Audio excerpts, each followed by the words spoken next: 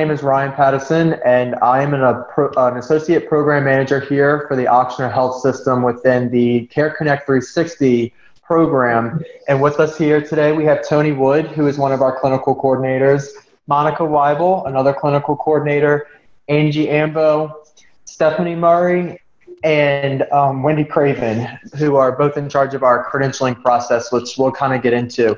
Um, we'll go ahead and start with who we are and what we do. Let me go ahead and share my screen. So, our PowerPoint today is called Drones and FaceTime and the Future of Healthcare. We'll kind of get into who we are and what we do. This is the Ochsner Care Connect 360 program. Ochsner is a healthcare system here in the Gulf South region. We're located in New Orleans, Louisiana, and we have many different Ochsner systems and hospitals that we communicate with down here. And we have many specialized physicians that have um, very niches in what they do when they treat patients of certain patient populations. So the good part about that is that if you live close to New Orleans, you have an array of doctors that can help you with what disease you have. But the downside to it is that if you live in a rural area outside of New Orleans, you have to travel pretty far to get to that doctor, which can be inconvenient and cost a lot of money.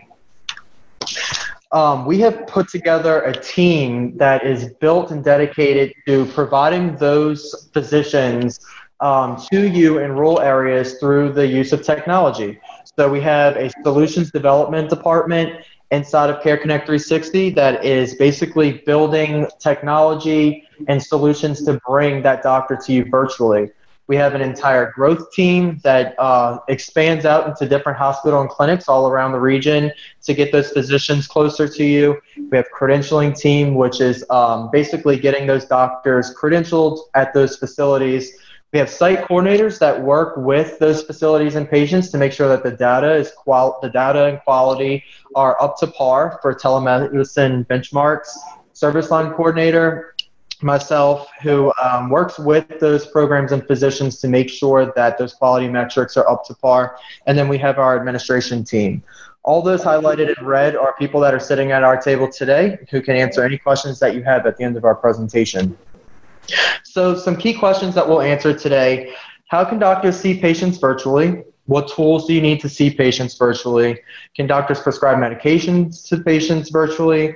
Are video visits compliant? Can doctors see students in schools virtually? And what does the future of telemedicine look like in five years down the road? So, first, we'll answer the question of what is telehealth? And this video will really help us take a look at Everything that. seems to be connected these days. Just think 10 years ago, smartphones didn't exist, and while a select few had GPS, most of us had to use paper maps when taking a trip. Every day, the number of internet users increase, and everyone is more connected. Did you know that you can even connect to a doctor using technology? Telemedicine is a tool that allows patients to connect to physicians securely through the internet. Many different communities can benefit from the use of telemedicine, especially people living in medically underserved areas. Telemedicine provides accessibility to primary care and specialty doctors that may have been out of reach before. For example, meet Jackie, a young girl who lives in a rural area without a pediatrician. Through telemedicine in the school nurse's office, Jackie receives primary care and specialty care without leaving the school. Many people think the cost of telemedicine might not allow them to take part in programs like the one Jackie can at her school.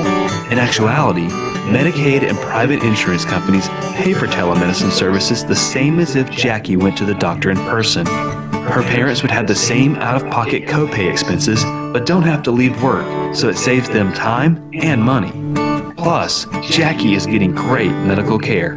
Telemedicine can be adapted to fit almost all medical specialties primary care, mental and behavioral health care, cardiology, neurology, and a multitude of other specialists are provided via telemedicine. Schools, doctors' offices, urgent care facilities, hospitals, public health departments, and skilled nursing facilities are all starting to offer it. If you are interested in learning more about how to receive healthcare services via telemedicine, ask your doctor if there are options in your area.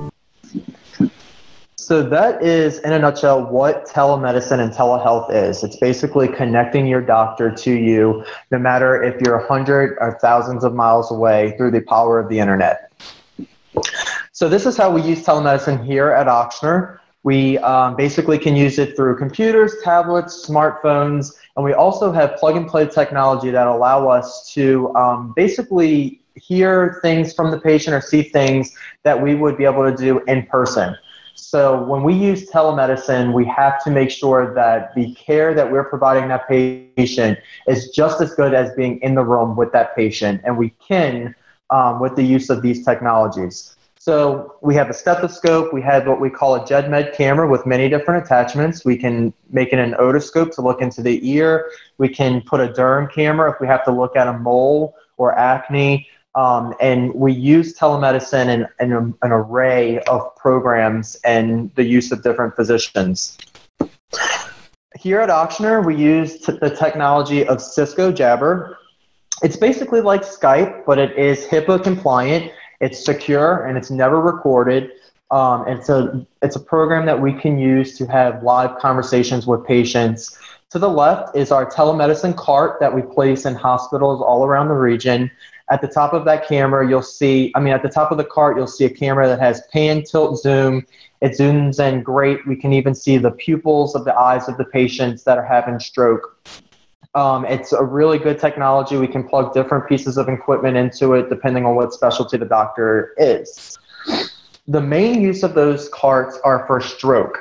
And a brief you know, lesson about stroke, it's damage to the brain from an interruption of the blood supply. Symptoms of stroke are confusion, trouble speaking and understanding. Most stroke victims have numbness of the face, arm, or leg, headache, um, trouble seeing in both eyes, one eye, and trouble walking, including dizziness. So when you have, uh, when someone is having a stroke, time is really of the essence. Um, essentially, you only have four hours and 30 minutes from the time that you have a stroke to actually get to a hospital and get treatment. There is a drug that can treat stroke by busting up the clot, and it's called TPA. Now, it's a very dangerous drug, and only certain people can get it. And, um, you know, a lot of the ER physicians around the state do not feel comfortable giving the drug because you have to be the right candidate for that type of drug. So they only trust that a neurologist can really make that decision when you uh, arrive in an ED for stroke, you really only have 60 minutes from the time that you get there to the time that we make that decision for the drug. So a patient really only has about three hours to get to the ED, and then the emergency department has about one hour to treat you and make sure that you get that drug in time. After you're out of the window for TPA, you cannot receive it. So let's give you an example. This is a map of the state of Louisiana, and say these are the neurologists in the state that are housed in these hospitals. But you're having a stroke up here in the top right hand corner of the state. You would have to drive one hour to get to the nearest hospital that could treat you and help you with the drug of TPA. If not, you could live with severe disability or you could even die from this. But there's a telemedicine facility that has one of our carts in their facility that's only 10 minutes away. We can turn that card on and connect you with a vascular neurologist here at the Ochsner system, hundreds of miles away, that can treat you, assess you, and give you that drug that can ultimately save your life. So it's really important to have this technology in rural areas all across the country to give those patients the same chance that you would have if you lived here in New Orleans. Essentially, telemedicine has broken down the barrier between specialized doctors and rural patients and replaced it with a cart.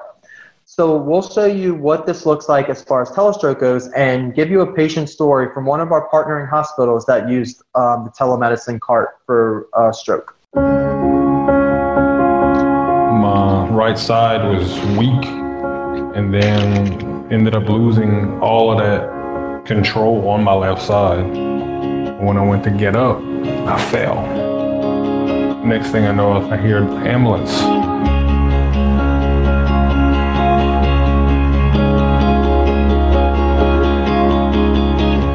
I remember saying certain things, but it wasn't coming out. Mr. Darter went to bed as a young, healthy adult, neurologically normal, and then uh, woke up devastated. They had told my fiance that if I came out of this, I wouldn't be the same. Nine times out of ten, I would be bedridden.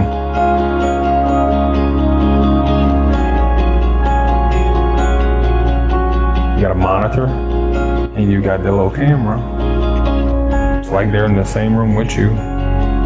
So after a stroke occurs, what happens is there's a blockage of blood flow to the brain, and whether that brain will survive depends on two things. It depends on restoring flow, but also in time. We lose millions of neurons every minute after a stroke. So the sooner we can treat a patient, the better.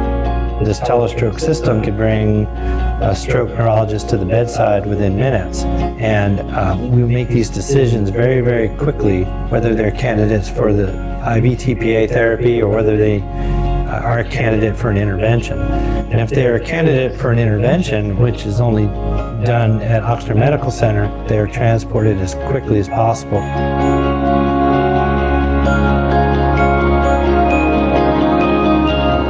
Clot that was causing his stroke was able to be removed from his brain and that basically reversed the symptoms of his stroke. And that's nothing short of miraculous, really, when you think about just 10, 15 years ago, we had absolutely no treatment for stroke.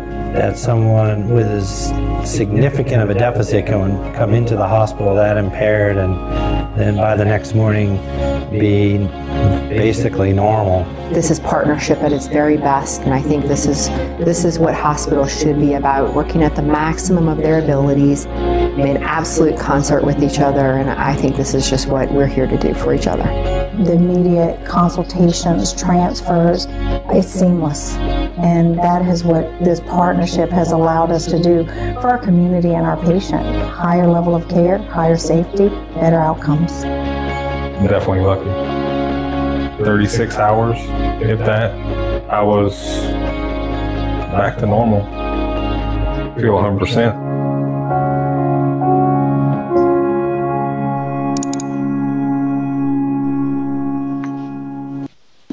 So that's one of the success stories through the Ochsner Telestroke program. Um, it's truly, it's really cool to see that a patient at a rural facility was able to get the same amount of care that they would here in New Orleans. So this is what our network looked about a year ago as far as the hospitals. You'll see that Ochsner logo kind of in the bottom right hand corner. And then those are all of the facilities that we had about a year ago for stroke. And this is what our network looks like now. So we're vastly expanding. There are many hospitals within our network that have multiple services, not just stroke but we have all of those dots on the map that can basically give specialized services to rural patients all across the state. So where we are today, telemedicine, we broke it up into three different categories. Store and forward, which is basically sending files through a cloud to um, read interpretations and send them back to the patients and doctors at rural facilities. Hospital telemedicine, which is our live services. We have stroke, subspecialty coverage in the NICU for babies, we have psychiatry services, PEDS emergency room services, cardiology for the heart, e-sitter to watch geriatric patients so they don't fall out of the bed, and even critical care services where here at the Elmwood location where we're at, we actually have a bunker full of nurses and doctors that have many screens that they watch over patients with. And then we also have clinic telemedicine solutions like cardiology, wound, nephrology, and maternal fetal medicine for expecting mothers. This is an idea of what telemedicine looks like around the Ochsner system. We'll have we have that critical care up at the top left hand corner, stroke at the top, uh, middle, and right. And at the bottom left is where um, our EICU bunker is, and that's what that looks like. It's nurses and doctors with multiple screens. In the middle bottom, we have uh, maternal fetal medicine for an expecting mother.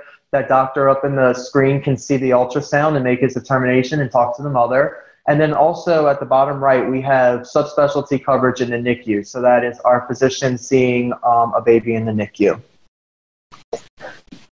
Also in telemedicine, what most people may know it as today is the fact that the doctor can now see you at home through the use of your laptop, tablet, or smartphone. So let's take a look at how we use telemedicine in the home. Uh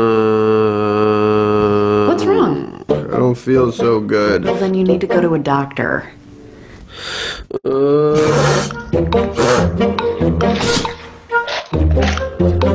Mr. Stephenson, Stevenson. Uh, how would you describe your symptoms? What is the general area of pain? Does your family have a history of heart disease? Does your family have a history of diabetes? And what seems to be the problem today, Mr. Stevens? I'm feeling a little stuffed up. Uh-huh. I'm experiencing. Doctor, your 3 o'clock is early, your 2.45 is late, room 6 and 7. Follow these instructions, and if it doesn't clear up in a week, you should come back and we'll do this all over again. I don't like going to the doctor. It's a hassle. It's hard to find a doctor that's right. It's hard to schedule an appointment. It's hard to take time away from your life to get there. And it turns out, about half of doctor visits can be done online without being there in person. I know, right? Well, now you can see a doctor without going to a doctor's office with the help of your smartphone or computer and American Well. You can log in or use the app to see doctors who are available and connect by video, phone, or chat. Hi, Alan. A few minutes later, I've got my diagnosis and my instructions for treatment. I can see a doctor and start getting better without leaving my home. I don't even need to get up. And that's great. American Well. The doctor will see you now. That's an example of how the doctor can now see you at home. Um, the doctor can prescribe medications that um, basically can help you with your infection, antibiotics. Um, the only medications that a doctor cannot prescribe with video visits from home are any type of narcotic medications. The doctor can also see you now at school, and we have a little video on how they use this um, program in South Carolina. It's very, very cool that we have like a doctor on the TV, like online. I feel like I'm video chatting with somebody famous.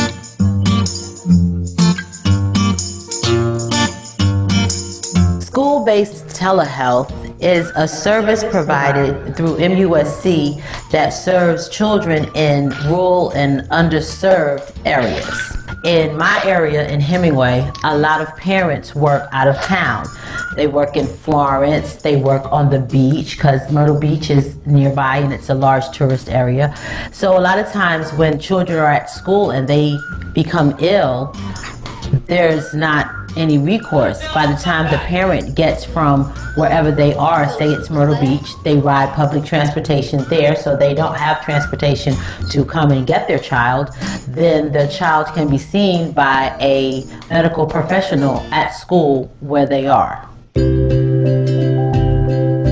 Whenever I get hurt or sick, the teachers send me to the nurse, and Miss Tina will check at it and see if I need a band aid or call a parent. And if we need to tell the health machine, she'll set it up. The student will come in and for their visit and I will sit them in front of the computer screen. Our medical professional, Kelly Garber, sees my kids and we will connect through Vidyo and Vidyo is a secure connection and once we connect, Kelly can see us and we can see her. And there are different things. We have a stethoscope and what I hear as I do the exam, Kelly hears also in real time. What I see during the exam, Kelly sees also in real time. And that way she is able to see and diagnose then and there. And also write the prescription, electronically send the prescription or call the prescription to their pharmacy, and all the parent has to do is pick the prescription up. It is just like an office visit, except for it's virtual. Yes, ma'am. I'll describe the telehealth consultation by I think it's cool and I don't have to wait for about 25 minutes and like they do in the doctor's office. And um it's it is better for my mom so she wasn't so she doesn't have to come all the way to my school and take time off of her job. Being in the rural areas, um, the closest pediatrician is probably 30 miles away. I mean, we have a medical office, but the closest pediatrician for the children is at least 30 miles away. And also, with a lot of parents having to work, I mean, we have to, you have to work, you have to go to work. Sometimes it's hard to take off um, days when you have other things, like you might have more than one child. It's hard to take off for illnesses and something. And if they're already at school, and, and the nurse can see them for a problem they may have, it could, it could be easier, very beneficial. What's the next color? Top? What continent? The telehealth consultation helps me in my daily life because um, they basically just heal my life, really. They basically heal me a lot and it makes me feel better.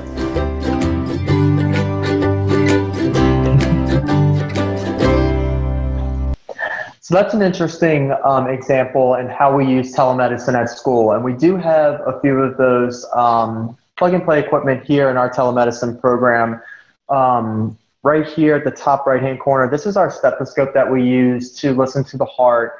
And then this is the JEDMED camera that we were talking about earlier that we'll see a live demonstration with with Tony. And then the different plug and play equipment that we use with that camera to kind of get a closer look at the patient. So we've been asked, can you Snapchat your doctor? No, you can't Snapchat your doc, but your doc can actually Snapchat you with your permission. So there are some famous doctors that do use Snapchat. Um, we have doctors that use Snapchat glasses to do surgery. And uh, some of the popular Snapchatting doctors are below, um, including Dr. Miami, Dr. Schulman, um, and Dr. Naomi, who do plastic surgery, and then my wife's favorite, Dr. Pimple Popper, a dermatologist that pops pimples on Snapchat. so, um, Snapchat's not HIPAA compliant as far as you Snapchatting your doctor. It would be great to ask your doctor um, if they can give you inflammation medicine based on swelling and redness, but it is not HIPAA compliant. And your doc can Snapchat you with your consent um, and your signature for it. So let's talk about the future of healthcare. Um, that question always pops up here in the uh, system, and we came across something very interesting the other day. Um, a school for uh, medicine out in Mississippi, William Carey University, actually developed a drone that can bring care packages to you in complex situations. So, say for instance, you're out hiking and an ambulance cannot get to you um, very quickly they can actually deploy a drone that can give you safety materials that can help um, your friend in times of need. So let's see their vision and what they um, dream of for the future of telemedicine.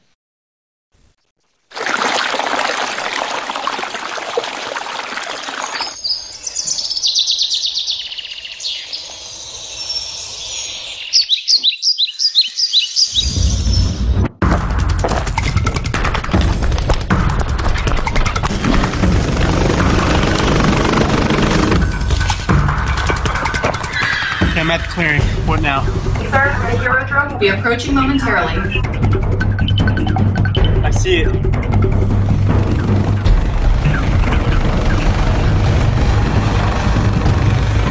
Retrieve the kit, deliver it to the patient, and a medical personnel will walk you through the next steps.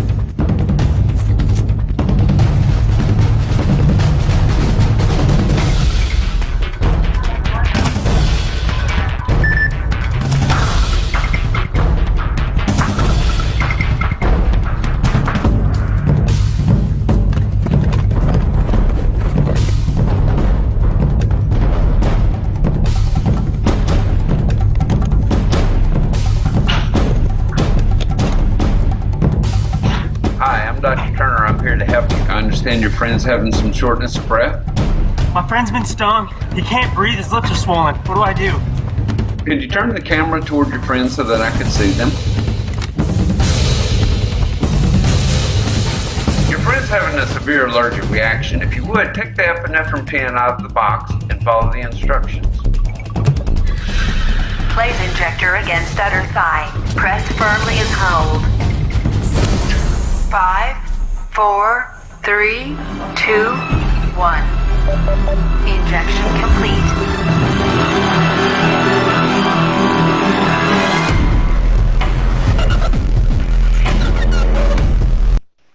So that's the Hero drone that was created by students at the William Carey University. Um, although I'm pretty sure Monica, our nurse, wouldn't recommend you uh, putting an EpiPen in that vigorous, but pretty well. Um, they have also developed a drone that can help heart attack patients and even drones that can help in critical situations that, um, you know, police or ambulance can't get to right away. So it's pretty cool and it's uh, something to definitely look at. They actually just got a really big grant to fund that project. So drones really could be the future of healthcare. I want to also talk a little bit about the partnership between Apple and Ochsner. We have that website, apple.co slash Ochsner, if you guys want to take a look at it. But it's a partnership between Apple and Ochsner that monitors patients at home. That way we can keep them out of the hospital. For chronic diseases like hypertension, diabetes management, and more, we can use technology to monitor patients every single day rather than just those few times that they actually go to the doctor. That really will help them in their diet, their exercise, and in their health. So, this is a look at the Apple website um, in partnership with Ochsner, and I want to show you how we use this technology to monitor patients at home.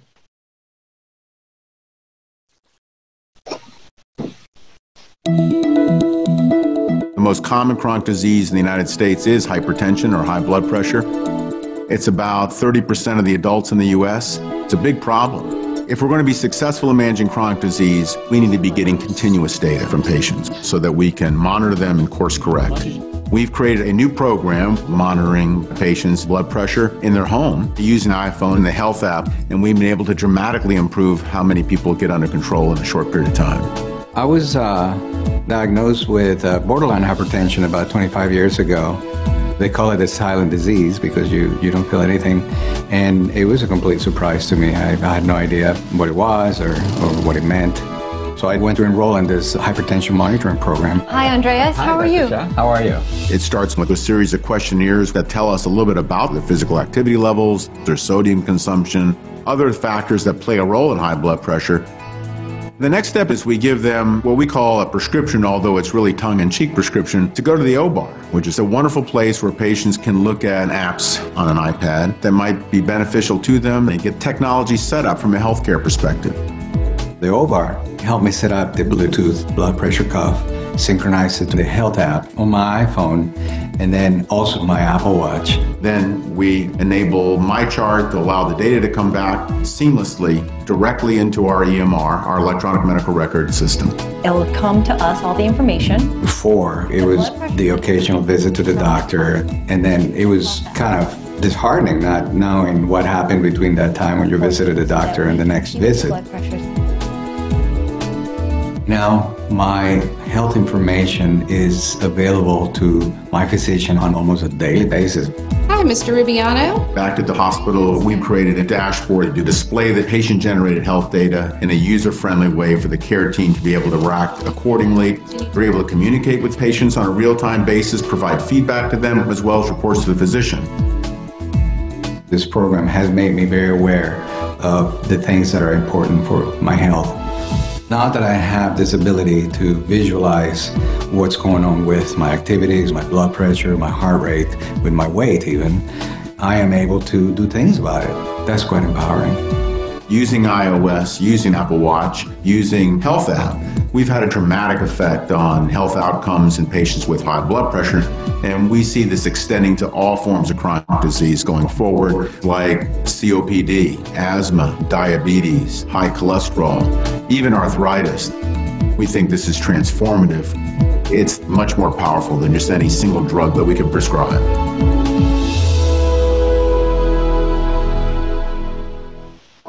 So that is the power of Ochsner teaming up with Apple to transform patient care. Let's jump back into the presentation. So now we'll go ahead and do a telehealth demo where we'll um, go ahead and show you the equipment that we use.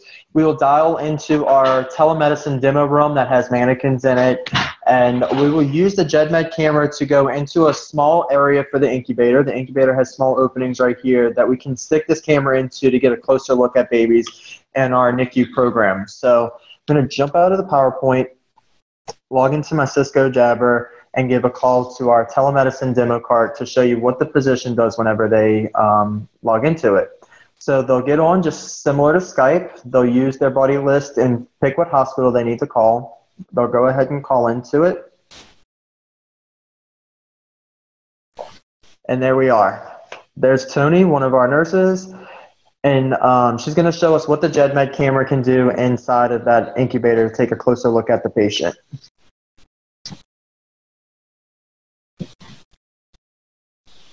So it can fit in those small areas. She can even zoom in to that patient and we can get a really close look at the patient. We use this for dermatology, we use this for NICU, and um, even if they, she needed to look into the patient's ear, she has um, a little add-on that can do that as well. So Tony, let's put it um, on the full screen, and then I will show the I'll show everybody how we can pan, tilt, and zoom the camera to get a closer look at the patient. So the doctor has the option to click these arrows right here. Can move this around, and it's got a really good zoom on this camera. So if a doctor needed to assess a stroke patient, they can zoom right into the patient, have a conversation with them. Looks like we have a little bit of facial droop going on there. They can zoom out. If they need to read vitals, they can zoom in and look at the vitals. Or if they even just need to talk to a family member in the room, they can zoom in and talk to the family member. So this cart can do a lot. Um, that JEDMED camera that's in Tony's hand right there um, is just one of the plug and play equipment that we use. We have uh, stethoscopes and more that we can use to assess those patients. So thank you for that, Tony. We appreciate it. Once they're done, they just hang up the call and they're good to go. They've seen their patient. Um, so now what we'll do is we will go ahead and open up if anyone has any questions for our team. Um, we have many nurses in the room that can answer medical questions. Um, and then we just have some administrative people in the room if you have any questions about the business side of telemedicine or, um, you know, just what we do as a whole from the Ochsner system. Like with the drone and how the patient was in the middle of the woods, if you you're without service, how can the doctor help you and tell you what to do? So we researched that, and it looks like those drones are running off of satellite and GPS rather than the internet, which makes them available to actually fly them in rural areas. Okay. So are y'all working with telecommunications companies as well? The the vendor that we use is Cisco, and then we partner with an integrator um, who we're currently switching over to an integrator called Carousel that we use. That's basically like our eyes and ears on the ground that go assess those carts if there's any issues. So what about AT&T? Are they involved in this in any way, or Verizon, or any of those? No, some telehealth networks are built off of cellular network. Ours are actually built off of wireless networks in the um, hospitals. So the state of Mississippi actually does partner with AT&T and Verizon, but in the state of Louisiana, we don't um, we don't partner with a cellular communicator. We partner with more of what the hospital sites use as their uh, boots on the ground wireless inside of the hospital. Okay. Uh, Ryan, there are, there's one question that I got. It asks, can I use the service at home? So for the Ochsner system, we're piloting the home telemedicine internally with Ochsner employees, and we're hoping by the end of this year we'll be able to roll it out to the iPad and mobile devices through your My Ochsner account. How does uh, HIPAA affect this? Good question. So HIPAA requires you, if you are using telemedicine, a few things have to be in place. One, the doctor has to be in a room that um, has doors and that no one can hear your conversation, which is extremely important. And then two, it cannot be a recorded line. So you can only use live telemedicine, live talking, and the video cannot be recorded at any time whenever you're using telemedicine. So um, the same thing with the programs. You cannot use Skype. You can't use FaceTime when you're using telemedicine. That's why we use Cisco Jabber. It is a secure line um, through the patient and the doctor. It's airtight. Hackers can't get into it. Just to make sure that what you're telling the doctor is in total co- confidence, just like if you were in a doctor's office. So how do we fit in as far as um, educators and students learning te- different things about different technologies? How will we help our students to learn about this to be able to become employed in the field? That's really interesting. So this year we've actually partnered with the um, with the education department and research to really spread awareness that um, the use of IT in high schools and colleges is really important for industries all across Louisiana. Um, and more importantly, we realized that IT really isn't taught in high schools. A lot of our technical institutes were taken away from the Gulf South. So internally within the Ochsner system, our department utilizes um, IT employees a lot, and um, a lot of people actually house IT employees inside of their own systems and their own departments. So, what we've been trying to do is spread awareness that um, IT is used everywhere these days. Everything is on the computer, the internet. It breaks all the time, and um, it's really important to really develop those um, IT employees early on in high school. Let's put IT in the classrooms in high schools. Let's get them to put their hands on this equipment and start learning it early on because this is the future moving forward. Um, all of our carts are monitored 24 7 by IT employees. If the cart breaks, we try to fix it remotely through IS. And if not, we have to have boots on the ground coverage immediately. Um, it's very important to know that if we did not have IS employees and IT on staff 24 7, that patients would not have the care that they have through our program. Are you able to connect us with uh, IT hiring managers so that we may be able to try to figure out what types of curriculum we need to offer to prepare our students to Absolutely. And I, am noticing that the it says CMINDCC. Is, is this Delgado Community College? Mm-hmm. It is? Okay. Um, actually, we would love to partner with you guys. We've actually done a little bit of research in what you guys offer in the IT realm, and we've actually been talking about opening up internships on our team for Delgado students. So I'm really glad that you guys joined, and um, we would love to get in contact with you guys. Um, any other questions? Nope. Okay. Well, thank you guys for joining. We appreciate it.